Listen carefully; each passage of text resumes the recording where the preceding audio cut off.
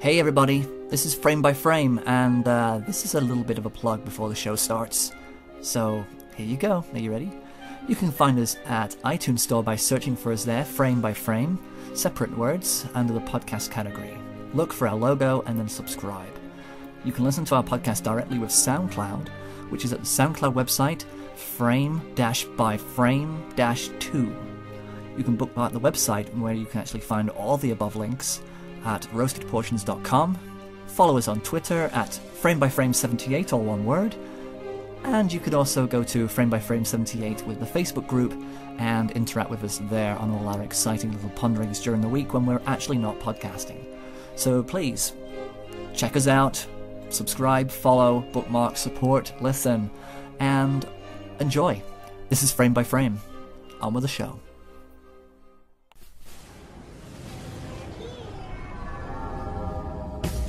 You talking to me? Did you have a brain tumor for breakfast? Then who the hell are you talking? You talking to me? I'm funny how? I mean, funny like a clown. You I'm Peter Bink. We all go a little mad sometimes. Man that doesn't spend time with his family can never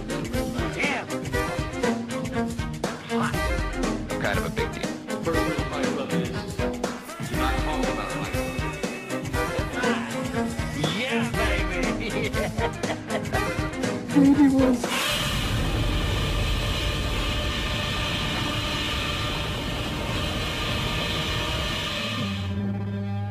want answers? I think I'm entitled. You want answers? I want the truth! You can't handle the truth! And the clock is running. I think I'm going to start every episode with that every time now. It's a good catchphrase. Clock is running. I'm gonna have I'm gonna have a T-shirt made. I think I think I need to do it with a little bit more angst though. He just woke up. Oh, I hit the record button and you wake up. We're talking to the baby on the chair, who's just woken up. Yeah. Okay, just pretend we're on TV, and uh, Andy is Andy, and I'm Stephen, and we are, and this is episode 34 of, of Frame by Frame. Been here about what? How long have we been here? Fifteen minutes. We were talking. Everything was fine. The moment you press record, He wakes up. he wakes up. It's clockwork. It's awesome. It's awesome. It's awesome. It's fine. It's fine. He'll be he'll be fine. Uh, if you if you need anything, let us know. Um, you know, I'm not talking to you, the viewers. I'm talking to the baby again, but that's okay. But if oh, well, if if you need anything, then please, please. Uh, Email. Uh, Email. Frame by frame seventy eight at gmail.com. I think our baby is going to be our link in with any. any Our baby. Let's not let the viewers get the wrong impression of this, Stephen. we adopted. We're a gay couple. Spread the word. Okay. Um, I'm not even going to qualify that. So, how are you? I'm good. I have a question for you. Uh oh. Go ahead. What's a poltergeist? What is a poltergeist? Well, Comes from the German noisy yeah, ghost. Noisy ghost. We, we, we Right. got that. Um, well, from what I know, that it's it's something that you don't see. I'm not too sure if you can feel. Well, if if it's moving you around or pushing you, pulling your hair, then yes, you, it, it's something you feel. Yeah, it moves things. It picks things up. Yes. They And can it- be mischievous spirits that will move Yeah. your, be- your favourite DVD and put them in it somewhere where you can't find it. Do you know what? Yeah, that's been happening a lot, so Yeah, I think we do have a problem. Um, but yeah, and, and generally, if you compare it with the description of what a ghost is, a, a ghost can manifest. Poltergeist shouldn't be able to. Yeah, I suppose a ghost in many in many cases uh, just like a replay of an event. Yeah, uh, exactly. You know, like Poltergeist is an intentional yeah, it's more of a entity. yeah, Yes. Um, and, Which- and yeah, which confuses me. why is that? Well, because I recently watched the remake of Poltergeist, hmm and I don't think there's any poltergeist in it. Do you know what? I agree. I agree, and I, I knew you were going to go there uh, because I I felt the same with the original as well a little bit. Yeah, um, to actually have a film called Poltergeist, you expect that. Well, I would expect that they would actually stick to a certain criteria, but because it's the movies and there are studio producers out there that go, I don't care what a poltergeist is. I want to see things on the Yeah. screen. It's a visual medium. I want to see ghosts. And the thing about Poltergeist, if you're gonna have a visual, putting Poltergeist in a visual medium, then all you're gonna have are objects moving around. Mm. The human mind is powered by electrical currents. Some believe that when those currents refuse to die, they become ghosts. And the most powerful and most violent become poltergeists. They're here.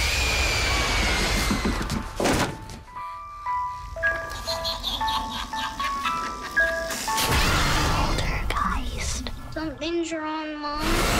PG 13. But uh, yeah, for for for my money, I think they went too far on both movies. To be honest, but uh, The first one I forgive because it's, It's- good. it is good, and you do have that forgive- forgiveness feeling about it, even though there there are huge ghosts just blasting out of wardrobe. Uh, uh, was it a wardrobe? Yeah. It comes out of a doorway, doesn't Doorway, it? That yeah. big thing, yeah. Um, and th- there are corpses kind of uh, appearing. You could argue, however, that that is purely in their imagination, as is all the uh, the, the different happenings that that happens. That maybe uh, the addition to the definition would be that a poltergeist has the ability to manipulate uh, um, hallucinations. Yes, because in the original, there's that part where he's looking in the mirror and he starts to scratch all his skin off. Yes, And then he sort of comes around and he's not, you know, his skin's fine. which they also had to do in the remake because they purely uh, they, they obviously don't have any ideas of But it was own. in a reflection in a tap. Yeah. Have you have you tried to look in your tap? I do all the time. you said it's your your shaving mirror. That's why my Is that, face is that's why such you a miss. mess. That's why you. That's why you miss. You just tap. Uh so Right. yeah. Okay, before we... Okay. What I liked about it. Yeah. Let, let's let's go positive. Okay. Um, where the original was all about sort of an economic boom and everyone could have anything they wanted, you know, it was that Reagan era. Um, where this one, it's more about obviously you're in a financial crisis, it's all about the economic downturn that we're suffering at the minute Yeah. It touches on that. it touches on that, and um, I kind of like that aspect of it. So uh, the first one was more about what everyone had and could have, and the American dream. This is more about how it's not. The American dream hasn't worked, and everyone's struggling. They can't find a job. Which is the background to the to the to the story. and I think Incidentally, they can still buy a new house with no job. Yeah. That's that's that's good. How do you do that? It's America, man. So, Um, so I like that. Yeah. Yeah. That's good. Yeah, and I, I like it- the scene where yeah. he, he goes to buy what was he going to whatever. He's going to buy something, and his credit cards keep failing, and because he's Sam Rockwell, he's really well. He's really good at sort of that little. Looking a little bit annoyed. Yeah, look a little bit annoyed, but really optimistic, and having a little jovial chat with the with the um, shop, shop attendant who just doesn't seem to want to be there at all. And he finally finds the credit card does work, so obviously his ego's been tarnished a little bit. So then he just goes and buys his family loads of stuff with the credit card that's finally working. Yeah. That's okay. Disposable income. It Yeah. means that. Uh, well, he, he yeah. can't, the idea is that he can't afford it and shouldn't be doing that, but Yes. because his ego's been hit, he'll just goes goes and does it. We've all done that. Yeah, and it's a, it's binge spending, and it's it's uh, to feel good. Yeah, Uh, which which in the original they they still had a, a disposable income because you know well, even they were though minted in the original one. Yeah. Money wasn't an object, was it? exactly, and that's that's perfectly fine. They can just pick up and just lose a house and drive off and get it get somewhere else. And, Yeah, and I like Yeah. Sam Rockwell. yeah, we we do like Sam Rockwell. I do, really Yeah. do. He's he's had a long career as well. He's he's uh, the stuff that he's done. Um, Green Mile. I, I I still can't believe he was in that. Oh, I forgot about that. Yeah, Um, uh, the, the list is endless. Cowboys and Aliens. he was in that. Uh, I think it'll be easy to just look at the filmography on the list because it's uh, confusing. Um, was in Moon, which we love. Moon. Moon Moon is my f- favorite Sam Rockwell movie because it's just him in it, and it suits his demeanor. It suits his. Uh, his He's in Iron Man two as well. Iron Man two Yeah. gets slagged off a little bit for not being as good as Iron Man one, but I, it's still fairly workable, decent film. that's good. Yeah, I know. I And know. um, he's really good in it. He's really funny in it.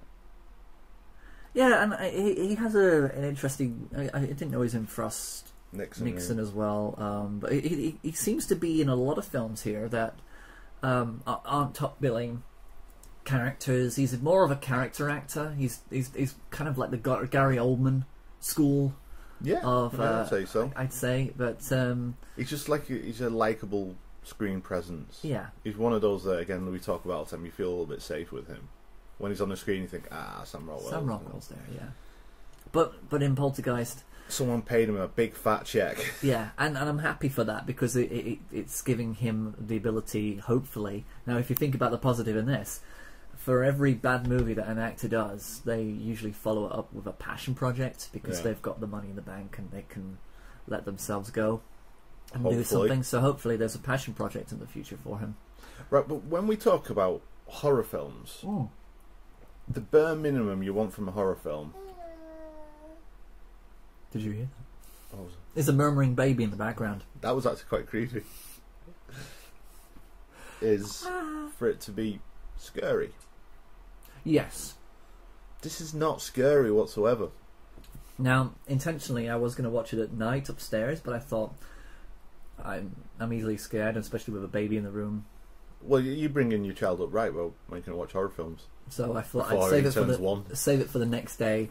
Put Aspen right in the middle of the jumperoo and let him. Actually, no, he sat over Yeah. here behind the chair with his jumperoo, and I sh- I made sure he didn't see anything because I thought, well, he's starting to get a- very aware now. So He could have watched it; it would have been fine. and it would have been In, fine. in the Night Garden is more terrifying than the Poltergeist is, and I actually mean that because I find in the Night Garden quite. Is that the menacing. BB- is CBeebies thing? Yeah, I can't I can't stand it. it's freaky, man. Look at that. Iggle Piggle's gone to sleep in Upsy Daisy's bed. I'm I, I kind of feel I, I just don't connect with anything on that show. You're not meant to for kids, mate. But in the, there's a bit in it where they're all there's just like creepy three four time music, and they're all just swaying from side to side, looking into the camera, and it's really menacing and kind of like wow. They're all saying, You will sleep. You will sleep. Yeah, sleep, little child. You know, but yeah, okay, Poltergeist. But- it's just not scary. It wasn't scary. No, no. That so the the criteria fails on the on the on straight away. Um, Like the actors are good, all right in it. hmm It just it just just let down by it I think the actors are all right, but I don't think they were given anything to do. precisely. And like we just said, right in the original, it's the iconic. It's movie history. They're here. Don't mess with that. But they did. She had to say they're coming, Okay. and then they're Follow. here. Yes. What the? Why why do that? Why do that? Exactly. But that's that's exactly why I had an issue with, with Star Trek Into Darkness for the same reason. Just because a character says something in a film that becomes so iconic, Khan. Why why have it re- reappearing in, a, in in in Into Darkness? Why why bother doing that? And I, and I kind of feel as though that that um, it, it kind of it it's cringeworthy. It's cringeworthy. And When that happened in there, and I kind of looked at her face, I, f- I felt nothing Yeah. when she said they're coming, they're here. I just I knew it was coming, Mm. and I knew they were here. Yeah.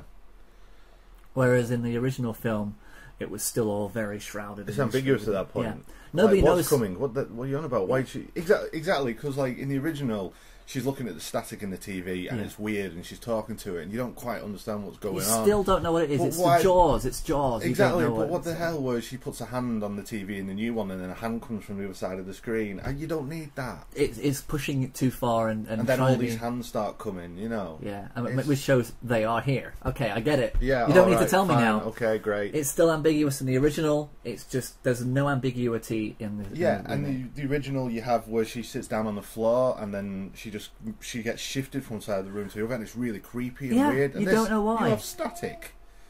The hair stands on end. I mean, come on! It was harder to do what they did in the original than what they did in that. yeah, All they have to do is fit one of those electrical things, so when they put the hand on the hand, the uh, hand, yeah. the door opening device, I Just- can't just- the hair stands up. Just the- electrocute the children. Yeah, it's great. No. I would like to just, you know, while she's holding that, then just do that to him. And just, you know. They should have done that. Why didn't they just do that? Why didn't they just tease each other with it and then give each other electric shocks? Uh, Wouldn't it be even better if they actually were running around the house and they they just felt so upset because everything they touched they were getting shocks? Yeah, exactly. And the original is actually funny. The jo- they're playing with it, and it's funny. Mm. And And and that they're they're confused. They're sitting on the floor, and he's kind of he's like, "Ah, I don't know what's going. on. This is incredible. I don't understand. And they're fascinated by it. yeah, Straight away, as soon as she disappears into that TV, the husband and wife look at each other and say, "We got to call the police. I need to tell them the truth." what the hell is going on there? Uh, I, let me just let me just pull that in there. That would just say. Uh, it's worth stating for the uh, listeners here that after watching the Poltergeist, um, Stephen wrote War and Peace about it. what an essay, wrote an essay. Yeah, everybody seems to know what to do and where everything comes from. Do you know why? Because This they is- watched Insidious. No, no. My theory, my theory is, is that everybody in this movie knows that that there is an awareness of the Steven Spielberg Poltergeist movie. Right. Okay. So I like that. Yeah. that basically they see the child with the TV, they think, oh well, I've seen this before. I've seen this before. The family knew that Madison was taken by the entity and seemed pretty accepting of it straight away. And I don't get how they just seemed like, oh, she's gone in the television. We need to get somebody who's paranormal into this. Yeah. Straight away, straight away. Instead of actually spending, I mean, in the original, they spent months. They got dirty. They got they they weren't eating right. They were living in their pajamas because they were literally just trying to wrap their head around what the heck was going on. Yeah. Yeah. They didn't. They shut themselves in. Nobody, no contact whatsoever, and they were at the end of their. And it was um, only when they were, she was in the library, isn't it? When she's looking for books, and then she hears someone over talk, and then she goes and joins the conversation. Yes. That's when someone gets involved. Yeah, that's it. They they have to go there to to them, but then See, these two. see, in modern horror, Insidious came out, and everyone liked it because it's quite jumpy and a little bit freaky. Yeah, and I liked it, but I mm. saw it's basically a remake of Poltergeist, right? It is. So, this Poltergeist is a remake of the first Insidious film, which is a remake of Poltergeist. It's ridiculous. They don't. They, they- people don't know what they're doing anymore. What? I could have right. I could have stuck a brush up my bum right and put one end in a jar of paint on a moving elevator, and I could have wrote a better film on the wall using that paintbrush. Oh, oxy There's an image. yeah, that'll stay with you. Um, but I, I, I just find it very amazing that the, these that these I, I think these are good actors. I haven't seen her before, the the wife, No, but she was okay. You know what I mean? Uh, but I kind of felt as though that this film damaged her. I don't think it it, it, it made me think oh, she didn't seem very good. She just but then, and then I suddenly straight away went it's the writing. It's not her. She's perfectly fine. Mm. She's capable of holding up on on a film. Her her filmography stands up, saying that you know there are, she's done films. Like I said, I have no problem with any of the fine. actors in the film. My The problem is the film. Yeah, It's not. I mean, ugh, yeah. the original, right? The ca- the clown scene is it's really scary in the Yeah, original. because it was just low key and, and just non. Yeah, it was. But It wasn't. then- Atta- it wasn't Chucky. no, but then they have to find like eight clowns from hell, which because he's such a good parent, he leaves in the room knowing that his son's already scared of them, and then all the clowns then start moving. Exactly, Aspin. He feels my pain. I know he he, he gets it, and the, but the house, the house, is in a, in a suburb that is already established. Yeah, Okay, it's um okay because the original story um it's a developing site that's on an Indian burial ground. yeah, So the people who lived in that house before had a fetish with clowns. Didn't report any poltergeist activity. Obviously, their house didn't get wrecked. yeah. It was only when these moved in. Yeah, because the last people obviously uh, they either failed to realise that their child had gone into the TV or whatever or whatever or anything. uh, Whoever had lived there before hadn't hadn't realised that anything was going on. Maybe who lived there before had a modern TV that you couldn't get static on. Oh, that's probably what it is. So then. the poltergeist, well, ghosts. Let's say what it is, ghosts, or Yeah, what ghosts. demons, um, couldn't get to him. But they had like an old TV because they didn't have the money, which does have static, so she get to watch it. Who leaves? Who's? Why leave the TV on? Switch the TV off when you go to bed. You Mine struggle- turns off after a while. It Most modern TVs do. Yeah, yeah it's like uh, you know. Is that what is these Yeah, poltergeists before someone says they're here, they can. Oh, but they switched. They switched it on. They there were okay. There was another good thing that I thought was quite nice, uh, which was thoughtful, but it still didn't impress me too much. But it impressed me to a little bit um, when the entity first appeared. uh, it appears by turning devices on, and it creates a path. That's right. Yeah, that's true. and it goes, around the it house. goes around the house, and, and you know where it's moving because the devices are going on, then they're going off.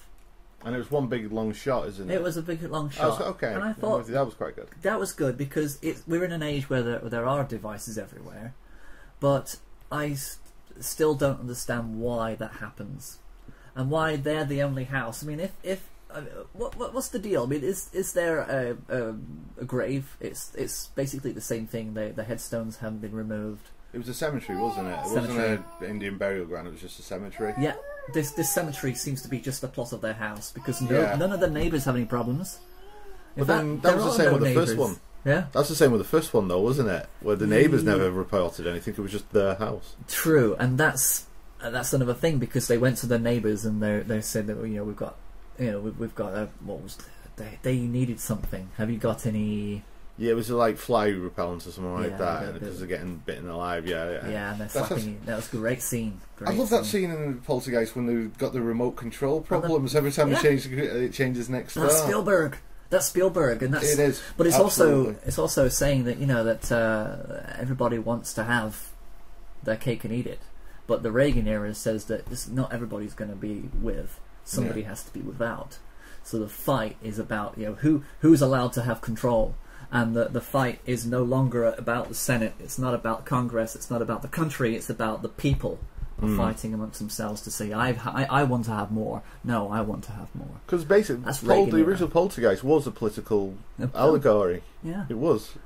The cans that burst all over the floor, it doesn't matter. Pick them up and just walk in the house, let them spray. It doesn't matter. You know, the, it's it's you know, even though the carpet's getting ruined, uh, you know, people that seem to have this don't care um, idea about Mm. their life as long as they've got the beer and the games on. Yeah.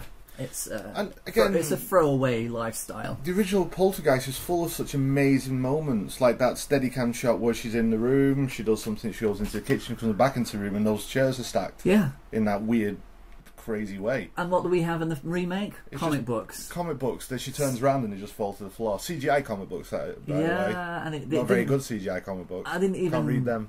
I, I, I, I wanted to like that, but I couldn't. I, there's there is a moment when you're actually watching a film and you're thinking, I want to say that's clever and I want that to, to, to have been really well thought out, but it wasn't. But the the fact that she she turns round, sees think for, the for boy, a split actually. second. Yeah, sorry, the boy. Yeah, she turn and then they just fall to the floor. I mean, Does nothing with it. no, that's paranormal activity. That's turning around, seeing something, and it falls to the floor. That's a paranormal activity thing. Yeah. That's not like what we've got in the original Poltergeist. If it had been, the comic books would have stayed there. For a while, and they would have been fascinated by it. Yeah, they would have Mum, come up and Dad. said, "What's going on?" And they would have actually, the parents would have seen it, and they would have been fascinated. Yeah. And they say, "How did you do this?" And they yeah, they'll think it's the children, and no, it's not on, the children. on. Yeah, exactly. Yeah, that- they'd made that would have been something of it. They'd have made a scene of it instead Yeah. of it just being a throwaway. Turn around, gone. Yeah. Okay, squirrels. Squirrels. Talk to me about the squirrels. Okay, uh, the incident with the squirrels was the only moment when Sam, Sam Rockwell actually came out of his coma. Did you notice? I, it was actually really funny He as was well. playful. Yeah. He came down in the corridor and he was he was suddenly he was suddenly Craig T. Nelson. Right, yeah.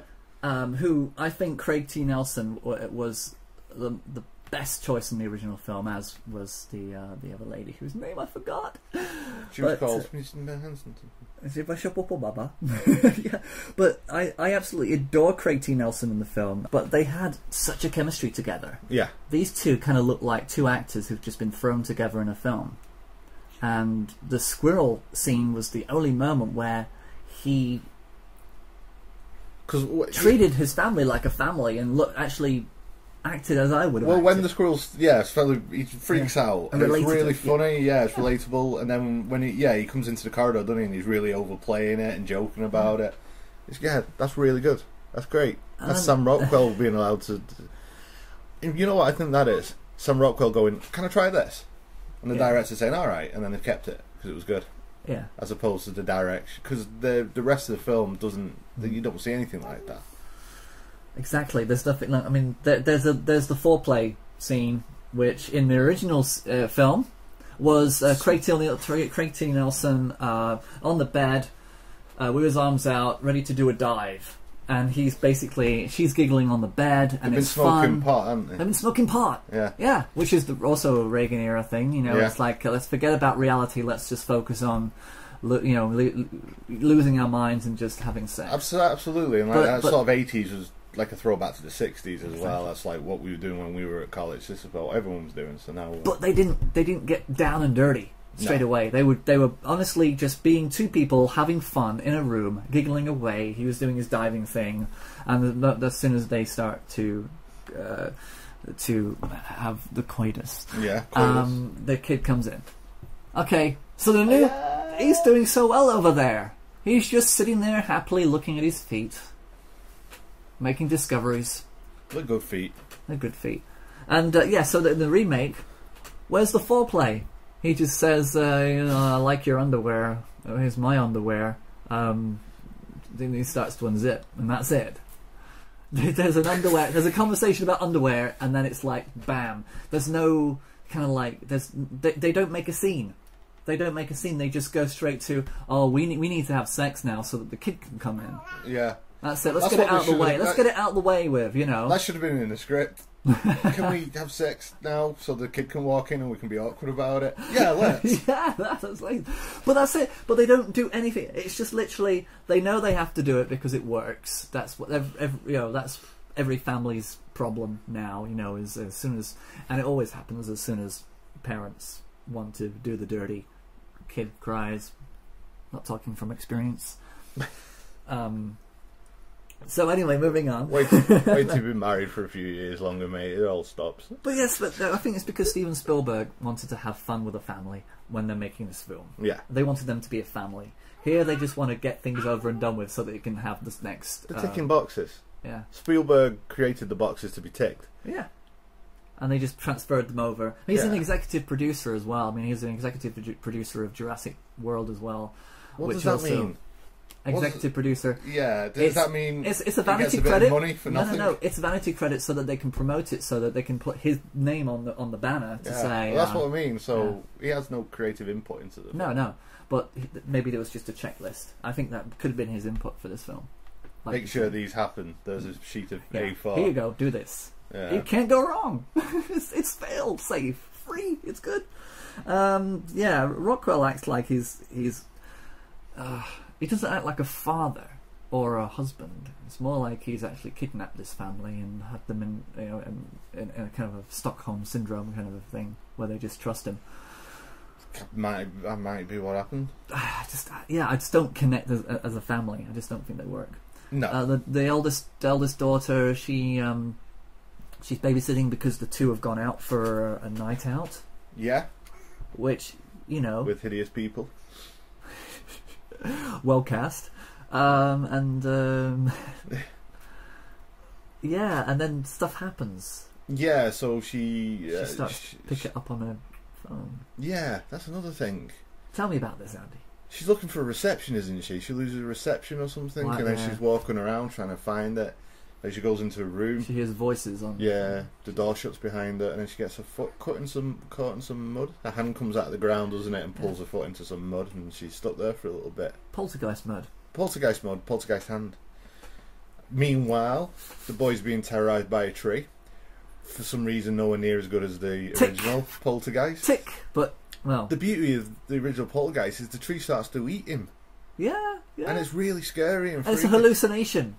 It it is bound What, in they a. pull, they pull him out of the tree though, don't they? Yeah, But with this, But- the, tr- the tree just puts them on the floor. That's it. good stuff. Yeah, Like, very C- good. CGI guys are a little bit bored by that time. They just I- wanted to go and work on let's- the next let's- Thor movie. Yeah, let's make the tree eat him. Nah, this is just the tree put him down. The girl's been taken now. So even in the in the original, the idea of of, it, of things being hallucination are questionable because they do It's ambiguous. up. It's ambiguous.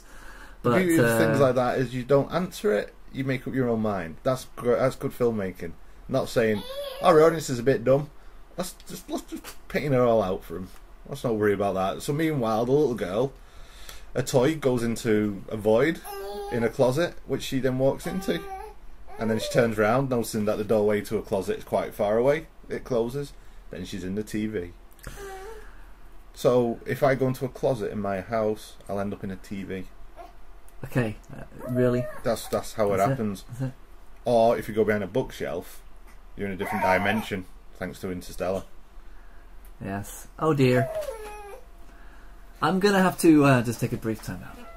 Poltergeist, which is a remake of the original from 1982. Did you see the original when it first Yes. came out? Yeah, I thought it was. I remember being pretty impressed by it.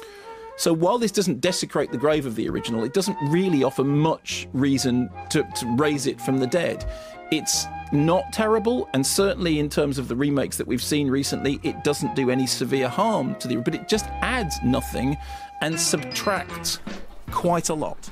And we're back, and uh, we do have background noise now of um, Peppa Pig Yep, and Jumperoo by Fisher Price. it's a classic.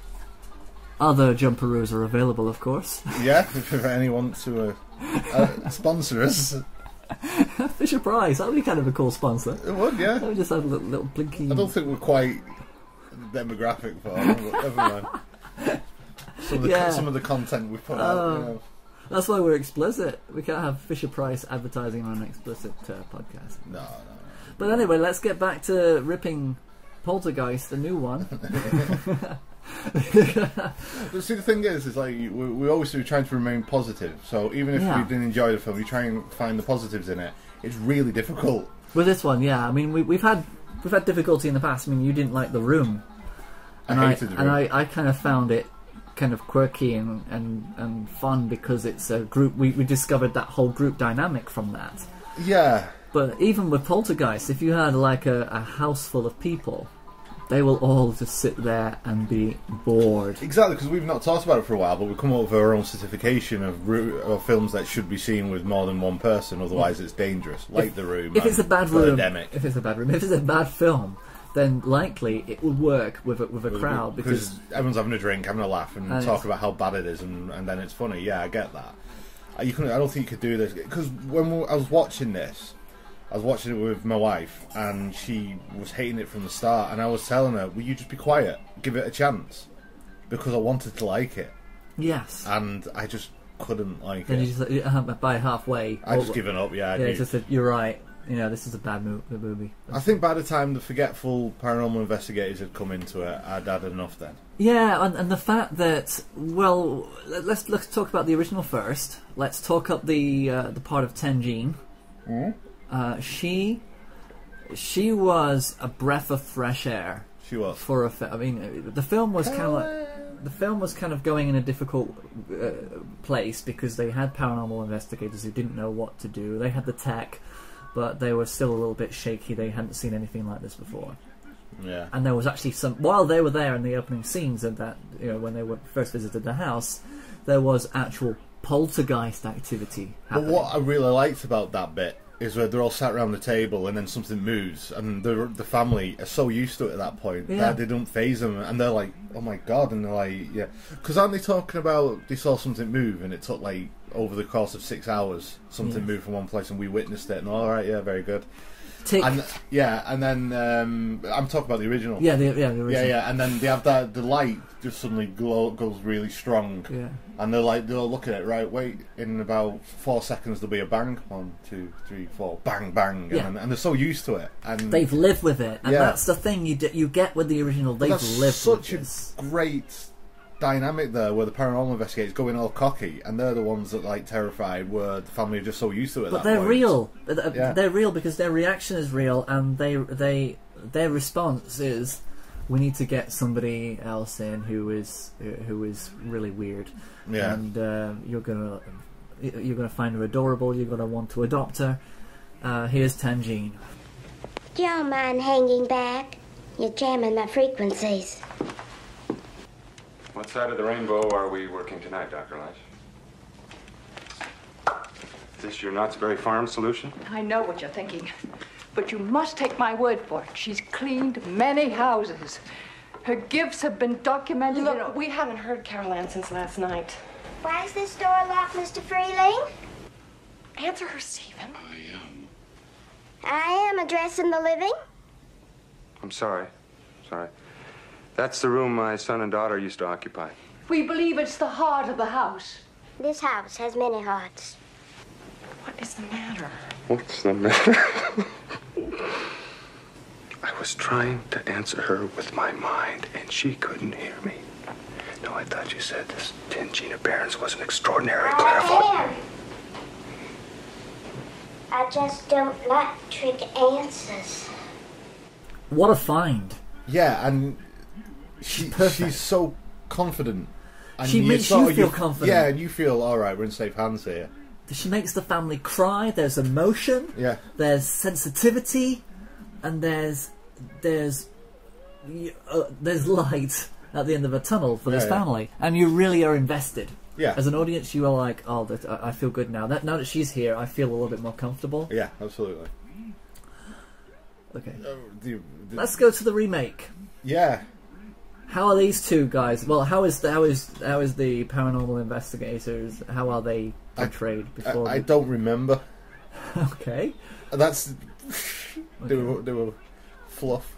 Now, because of the uh, the trend in, in Ghost Hunter shows, um, our his name apparently is Carrigan Burke. You see, he doesn't even have a name that is remotely as memorable as Tangine. Um, Carrigan. Carrigan. Sh- He's first seen. He's first introduced because the eldest in this family, coincidentally, is watching a TV show that has him in it, Yeah, that's true. and it's it's supposed to be comical. It's supposed yeah, to the be TV show isn't real, isn't you know? Doesn't look real. The TV show doesn't look real, does it? It just looks like a, a joke. Now Yeah. tell me, his entrance then was so like meh, meh.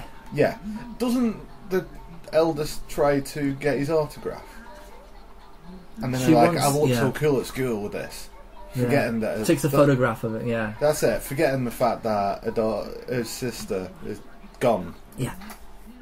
Oh no, no, that that was the house has been cleaned. That was at That the was end. at the very end, yeah. right, sorry. But uh, but luckily, you know, she's still cool with with you know him Yeah. and the the things that he's done and his celebrity, even though there you expect when you actually see a TV personality at the beginning of a film, you expect him to be completely different and, and ag- arrogant and diff- difficult. He was nothing. Again, uh, Jared Harris is an amazing actor. He comes in and he has got nothing to do but just be there and be there Yeah. and be a presence in the movie. Tangine blows your mind. She's literally just this wee woman that she's untouchable. She's got this enigma. Mm. She glows. You can't, you don't mess with that. And yet, yeah, it, it- it's just a, such a throwaway, pointless uh, character that you can hardly remember what he actually does. What the, what the, the, the fact that he actually comes prepared as well with a rope. I remember seeing the original movie. Again, back to that. You're right. Yeah, it is as if Like- all the characters watch Poltergeist and just say, "Oh, we'll just do." It's what, the same thing. In that Spielberg film. So, and, and straight away he goes, well, quite obviously, you know, this this uh, house has been built on a on a on a grave a graveyard cemetery, yeah. cemetery. They removed the stones, but they didn't remove the bodies. I'm like. I didn't see you go to the library, I didn't see you going through newspaper reels, and I didn't see you actually look at a book or anything to say, hmm, I've done my research.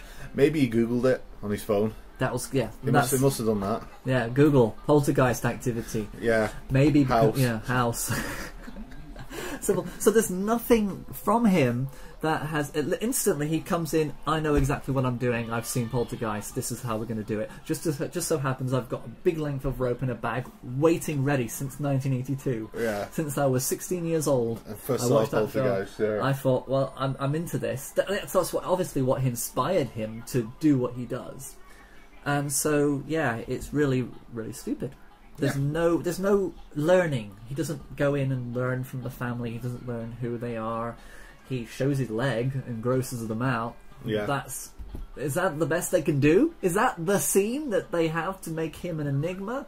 And it turns out that he just tripped or something. He, a boom operator cut his leg open with a boom mic. With a boom. Well, they are sharp. Mm, yeah, not sharp, that it- fluffy muff really does have some la- blades sticking out. Of You never, never get bitten by a fluffy muff.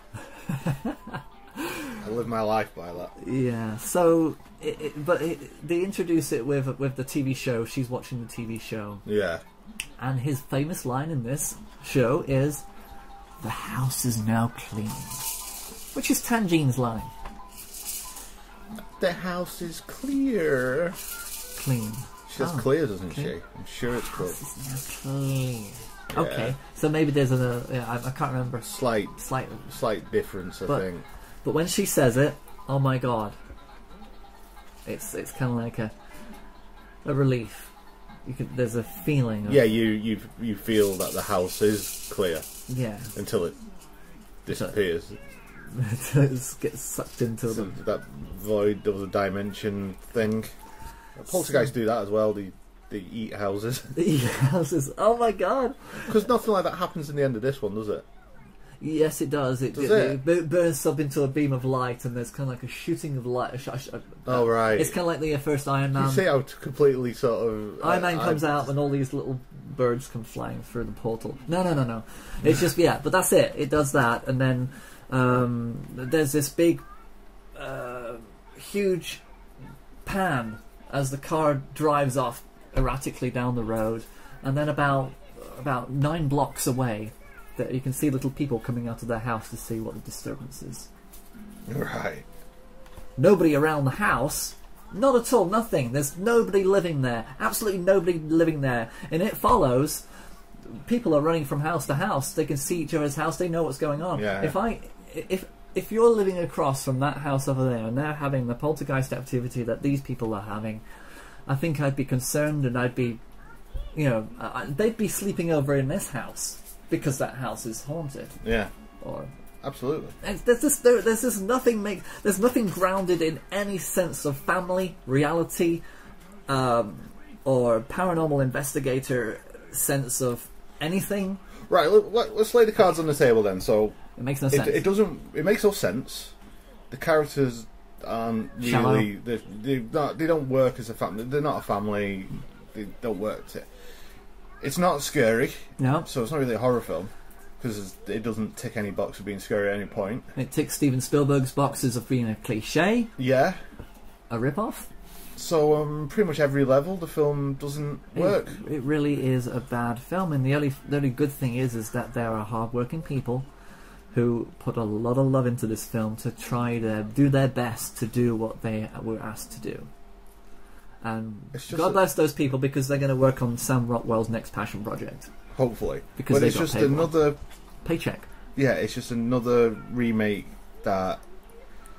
It's as bad as the Fog remake. There's no need for this movie to exist. No, not at all. and I I feel.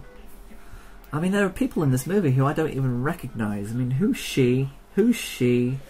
Well, Who's you know, there's Who nothing, are all there's these nothing wrong with up and I don't remember Oh, being yeah, in the yeah, film, yeah. but The- nothing wrong with up and coming actors using this as a stepping stone to get somewhere yeah, else. which is which is kind of the only reason that this film exists. It's school fees for them. yeah, Um, and a nice fat paycheck for Sam Rockwell, so we can now go and do something more indie. And there's a hilarious ending to this film where they go to another house and the realtor tells them that there's a, a, a huge tree and there's a, you know, that she she starts to paint it out as being a house that could potentially be haunted and she Mm. turns around and they've driven off. Yeah, they've they just don't want gone. anything to it. They just drive off and that's the end. which is pales in comparison to Poltergeist, with the ending is they all end up in that hotel room, and then the door shuts, the door opens again, they push the TV out, and then shut the door. Magic. Beautiful end. That's it. And I, and I think that uh, throughout its faults, the original, you kind of ignore all of that because it works so beautifully. Yeah. Nobody had done that kind of a film before. That, it was Do you remember the scene perfect. in the original one where it's almost beautiful when they film in all those lights and those people coming down the stairs, Yes. and it's stunning. It is, and it's and you can feel it. The Yeah. atmosphere is electric. Yeah, absolutely. Yeah, that's, You that's get it. You get word. it. You get it. Yeah, it's organic and it's beautiful. And there's none of that in this. It's No. just pointless, and it's upset me. The score. Uh, tell me about the score for Poltergeist.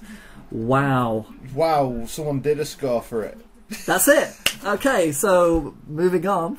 Who composed it? Uh, somebody who probably March. Oh, it, He has a name? He didn't do Gladiator. He probably worked on it as a um, soundtracks composers. Okay, the TV series Hand of God, Prometheus. Prometheus, Okay. The Grey, Robin Hood. Body of Lies, Fallen Angels, American Gangster, and The Good Year. He likes, he likes, and Robin Hood. He he likes working with Russell Crowe as a as an inspiration for his scores. Right. So We we all have that. But the thing is about this, I mean, I think the score is probably really good. Uh, Probably, if I can remember it. Right. Okay. How about this?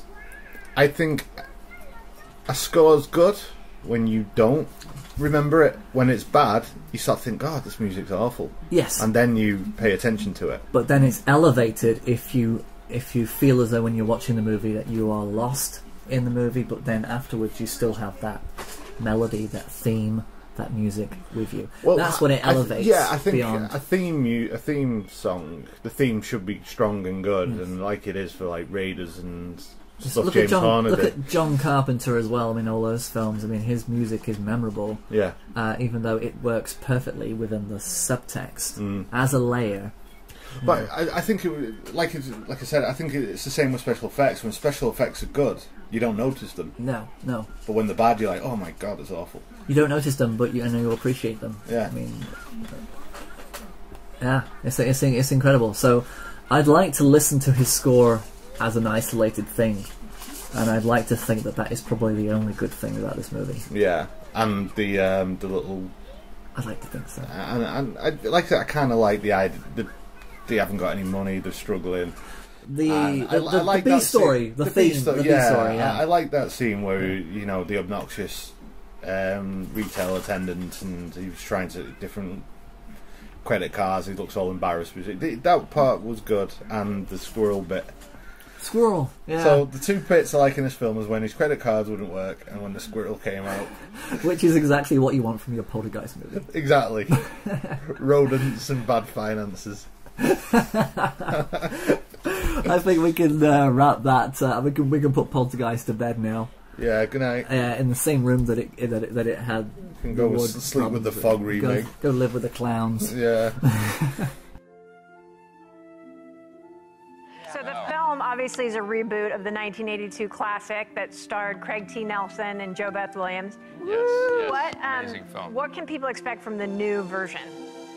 Well, it's we're, the couple, the, the family's suffering from the recession, so they're downgrading to a, a different kind of house, and technology's got a bigger role, obviously. It's in the 3D, so It's in 3D. art- like the technology in the film is different. The cameras that we're using now are different, so we kind of go into the other side a little bit more.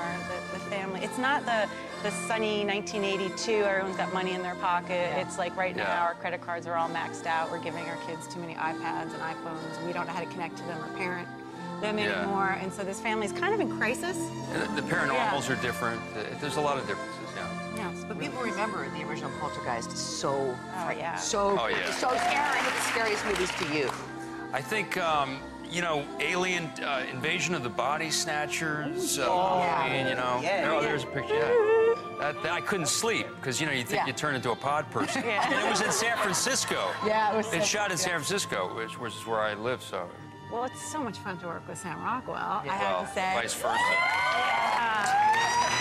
It's really fun. You know what's really fun to do that horror movie screen. Like I can check that off, like that blood curdle. Yes. Like you just everyone wants to know if they have one of those. You know, right? When you're in the shower and you're like, what would I do if somebody, you know? and I think I have one maybe. You tell me. Yeah, you see got the a good movie. one. Yeah, that's fine. They, ha- they- they got a clip? No. Oh, save your voice. Save your voice. Since it's coming out, are either of you going to plan to sneak into a movie theater this weekend to see it? Absolutely. Friday Yeah. night, I think we're Yeah. gonna. I haven't seen it, so I'm, I want to see it with You the haven't three. seen it? I haven't seen it. I want to see it with the glasses and, the, And you an audience there. and an audience, Yeah. civilians.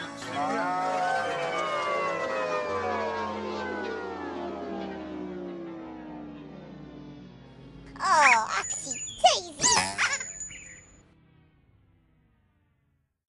Well, Okay. before we finish up, we want to just say mark the passing of uh, James Horner. Yeah, this this is was a- actually He was a prolific composer, and um, died in a helicopter crash. Was it? He was flying in a helicopter. Was it a plane? I think it was a plane. Yeah. But um, it really took me by surprise, and I seriously did feel He was only in his sixties, wasn't he? heartfelt uh, in the same way that Leonard Nimoy is passing. I mean, I, I, the thing is about James Horner is that he's not a, a person you know as a figure. You don't really see him in interviews, but you know him. He, he talks to you with his music, Mm. and for the, for that to be gone, that to be lost is quite heartfelt. Yeah. Um, one story that I can say that as, as a kid I grew up and um, You, you did, didn't you? I, I, grew up, I grew up with his music. Yeah. Um, but accidentally, my dad had recorded music on a cassette, and I took the cassette and recorded something on the other side. Not knowing what was on the other side, I kind of turned it over and I listened to this music. It was beautiful, it was sweeping, and it was different. I hadn't heard it before in my, in my life, and it's nothing that you'd expect. It wasn't Cocoon or anything like that. It wasn't Star Trek Two. It was the end credits of a little, a, a little film called Project X. Oh, I know that film. The film with Matthew Broderick, Helen Hunt. Yeah, the- they are liberating um, um, apes, Apes, from a, an experiment uh, from which they die. Uh, test, uh, test. Oh, for mate. doing test simulations. The scene where Simu- simulations. where it saves everybody Yeah. and stays in that room, it stayed with me to this day. I bawled my eyes out the first time I saw it. It's that kind of a movie, and I learned a little bit of sign language. I know how to say apple, and uh, from from watching Virgil, the monkey. Virgil. See, oh, that- see, that- I'm getting all upset now. See, that's the thing. Virgil. That's the thing about about the, the movie. It's memorable. Yeah. Poltergeist. No. So, but with James Horner's score, I remember listening to it in my bed, in, in bed, just over and over again with headphones. I didn't know what it was, didn't know where it came from. I just knew that it was that that. Whenever I heard anything else of his, it got me. Yeah. It got me there because, but I didn't realize it was him that had done it. But I knew that every time I listened to a James Horner, I became a fan of James Horner without knowing it. I bought I bought this video Project X because I had a bit of a, a You had the horn for James Horner. I had a crush for Helen Hunt. Actually, Oh, okay. Sorry. Um, I had a thing about Helen Hunt, and I was collecting all her of her, her movies at the time. I think it was just before Twister, when she was in Mad About You. And uh, I got the video, and I played it, and I recognised certain themes in the movie. And I thought, "Hey, this, this this is familiar. I know this. I know this music. I know this music. And the end credits came in, and I bawled.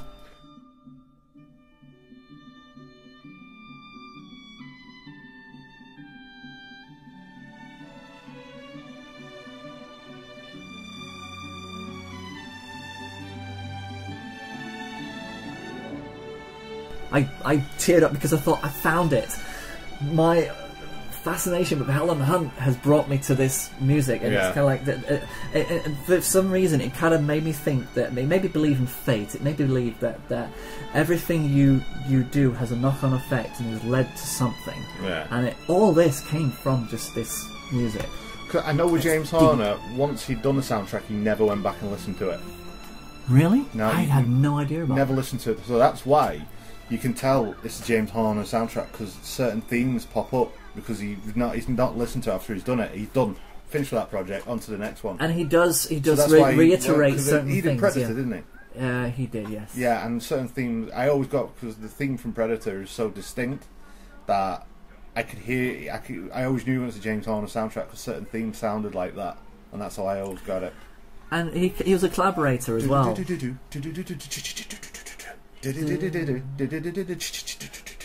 That's it, yeah. Predator. It is, and, and you know it's him, and it, and you can tell that throughout his career, through the eighties, you knew what was moving him.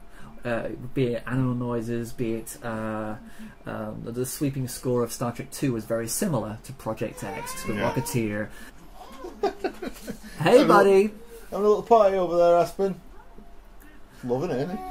And you know, with Die Hard, there's there's a certain themes in there as well that uh, that he, he wrote certain themes Yeah. that appear in other soundtracks that other other um, composers worked on, and it's He that ba- good. So he's done Batteries Not Included, Willow, Red Heat, Vibes. You keep reading through. I'm going to pick the baby up. The Land Before Time, Cocoon, Cocoon The Return, Andy Colby's Incredible Adventure, Field of Dreams, Honey I Shrunk the Kids, Tummy Trouble, In Country, Dad, Glory, I Love You to Death, Tales from the Crypt, Another 48 Hours, Extreme Close Up, Once around, my heroes have always been cowboys, class action, Rocketeer, an American Tail, Five Will Goes West, Norman and the Killer, Fish Police, Thunderheart, Patriot Game. Keep going, keep going, keep going. Unlawful Entry, Sneakers, Swing Kids, A Far Off Place, Jack the Bear, Once Upon a Forest, House of Cards, Searching for Bobby Fischer, The Man Without a Face, Bofa! We are back, a dinosaur story. The Pelican Brief, Clear and Present Danger, The Pagemaster, Legends of the Fall, Braveheart, Casper, Apollo 13, Jade, Jumanji, Balto, The Spitfire Grill, Courage and the Fire, to Gillian on her 37th birthday.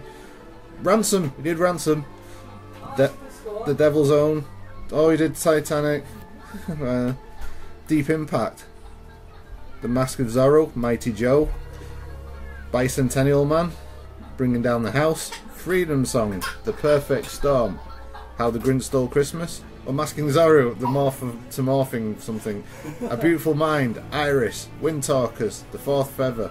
The Making of Sneakers. The Missing. I'm just going to keep reading, alright. Keep reading. House of Sand and Fog. We like Bobby. Jones.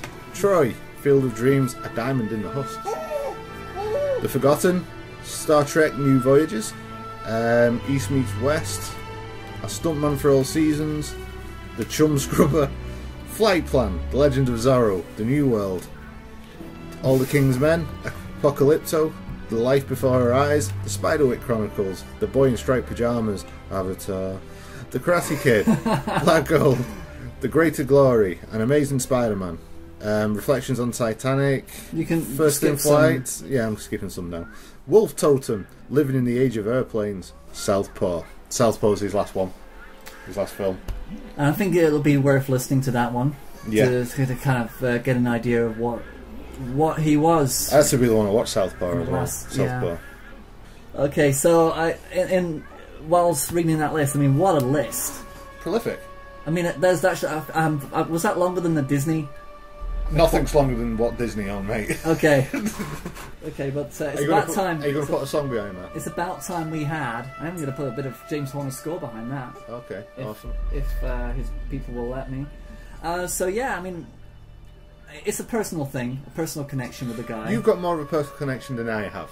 Yeah. Because um, I didn't associate the music uh, as much as the actual characters, even though Yeah. the music would have helped, obviously. It's there, and I still stand by when a score is brilliant, you don't notice it. You don't notice it, but also, yeah. But a theme song, you a good theme song, you remember. I mean, Ben McCreary did an essay on the Rocketeer soundtrack um, when he was in. It was actually a part of his dissertation. Right. Um, he's put Ben McCreary wrote a beautiful piece about him. Um, you know, saying that you know he was a hero of his growing up. And for, for musicians, you know, you do kind of. I mean, you have a stronger connection with with guitarists, I imagine, more so than. I do, but it's interesting because knowing how how bitchy musicians are. If there's a composer that people want to work with and will work with time and time again, then that's a special guy. Yeah. Most of the musicians, people work with them once and think, I'm never working with that person again. What a Like Sinead O'Connor was with, like Sinead O'Connor was with Van uh, Van Morrison. Yeah. Did you ever see that performance? I didn't see it, but I can imagine Van being a tricky person to work Well- with. And I can imagine her being a tricky person to Yeah, work I think they hated each other because their performance on Dave Letterman was absolutely appalling, and you could tell they were. He basically was jumping all over the mic, going "You, you, you, you, you, you, you," and uh, That's what. You, you, you, you, you, you, you, you, you. still doing what she did and being quite coy with it and uh, Right. looking. There was no. Uh, that's the first first time I actually seen a duet with with two people. I love that. First time I see the duet with two, people, people who just left it there. yeah. Who who who couldn't professionally work together, no matter what. You should watch some of the old um, um, Fleetwood Mac Rumours era stuff because while they were doing Rumours, everyone was sleeping with each other in the band and cheating on each other with someone else and all that, and they were writing about it. Um, so there's this great. Like ABBA did. So They- they- yeah, they so yeah. There was a great video where they're singing um, "The Chain," and there's uh, lyrics in the chain. It's, "If you don't love me now, you'll never love me again." Blah blah blah. And Lindsey Buckingham and Stevie Nicks are literally shouting the words at each other because they're singing in harmony with each other, and he's looking at and he's like, "If you don't love," and they're shouting at each other. Huh? It's amazing to watch.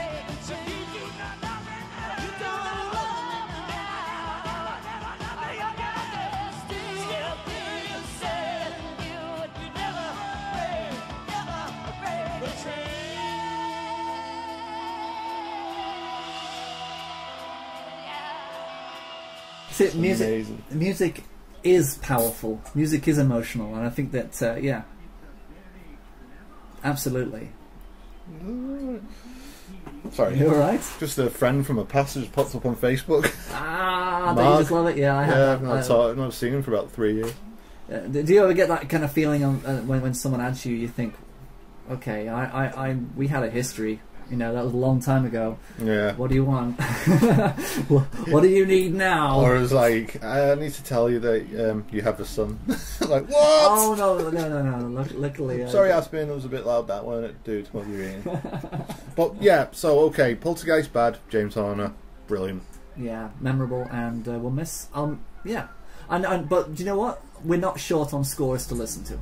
We're not, and now we can play the Great Gig in the Sky. Yeah, that's it. Well, this has been um, frame by frame. Yeah, we're And- we're on um, iTunes now. That's good. It Yeah. took us like We should we should have opened with that. We should have because we were really excited about that. But uh, yeah, we're on iTunes. Yeah. And uh, so if you go to the iTunes store and search for us there, we're right there, frame by frame.